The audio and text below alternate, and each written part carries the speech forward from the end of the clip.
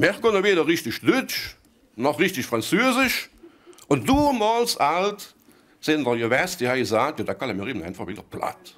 Mit seinem kabarettistischen Blick auf die Geschichte der Kulturautonomie sorgt der Möringer Remo Andres für Heiterkeit im Saal und beweist, die Mundart ist lebendig. Und wenn die ihr Willen evolutisch aufschaffen wollen und in Öpen dafür alles regeln wollen, wer geht der Bischof? Und ich denke, ich denke, der Lamberts der Welt die Posten han. Dass die Mundart noch gepflegt wird, bestätigt auch die Untersuchung der Universität Lüttich. Insgesamt 1700 Rückmeldungen haben die Sprachwissenschaftler auf den Aufruf der DG hin bekommen. Aus den beantworteten Fragebögen erstellen die Wissenschaftler Landkarten für den kleinen Dialektatlas. Dass wir da so viele erreicht haben und so viele mitgemacht haben, das ist schon äh, eine kleine Überraschung gewesen und ein tolles Ergebnis. Ich habe die Karte gezeigt, wo also zu sehen ist, wo überall noch mehrheitlich die äh, Informanten gesagt haben, wir sprechen jeden Tag platt. Nicht? Das ist im Süden der DG fast überall so gewesen. Überraschend waren aber auch die Reaktionen aus dem Norden. So wurden aus Kelmis über 70 beantwortete Fragebögen eingesandt. Und auch in Lonzen wird das Platt noch gepflegt, nicht nur von Mundartdichtern wie Jean Schonbrot. Früher, das waren noch Tite, du hast ein ganz Weichbrett voll Piepe. Et jof auch minnig viel Sprüchske, die frohe Dinger jere klare, denn op een Pieper musste immer warten. Dat Freuge kost dat ik niet verstoer, für dat Piepke lot her net für utjue. Doch Pieper in Lonzen, in Eupen heißt er Piefer, in der Eifel Rocher. Die Dialektunterschiede zwischen Nord und Süd sind deutlich. Wir haben Karten, da ist das Fan ganz klar eine Grenze, weil es eben eine Kontaktgrenze ist, es ist ein Kontakthindernis. Heutzutage natürlich nicht mehr unbedingt, aber früher war es schwierig, da miteinander zu kommunizieren.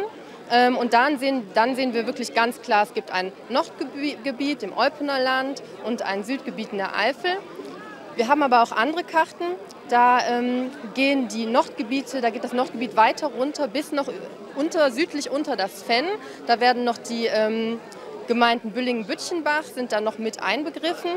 In Amel verändert sich dann schon die Mundart. Hubert Jates gibt mit seinen Erinnerungen eines Nachkriegsjungen eine Kostprobe. Überhaupt, et jo viel der Busse gespielt. Wangen und Verberge. Cowboy und Indianer und der Wonder Rafje schlitt von der Berge. So viel Schnee, all das junge mir schlitte. Ob Liedmaß 1953 loch der Schnee de 2 Meter die wieder.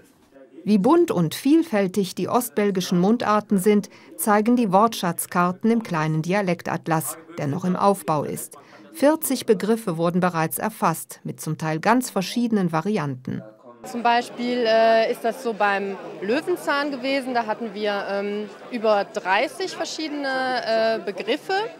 Äh, beim Tannenzapfen war, das, war das dasselbe oder auch beim Apfelrest. Und das betrifft häufig ähm, Gegenstände, die halt Alltagsgegenstände sind, die auch nur ähm, ja, Teil einer, einer familiären Kommunikation so sind, über die man eben überregional nicht besonders großartig redet. Und äh, aus diesem Grund können sich dann die dialektalen Begriffe etwas besser halten, als wenn es etwas ist, wo vielleicht ein Einfluss aus der Standardsprache größer ist. Die Untersuchung zur ostbelgischen Mundart verspricht noch viele Erkenntnisse. Bislang haben die Sprachwissenschaftler nur einen Bruchteil ihres Materials ausgewertet. Stoff gibt es jedenfalls noch genug, nicht nur auf der Bühne.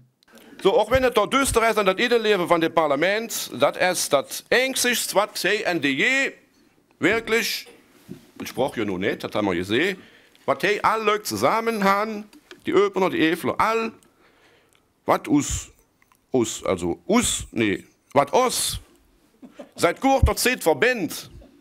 Wir haben alle zusammen das neue Parallelement bezahlt.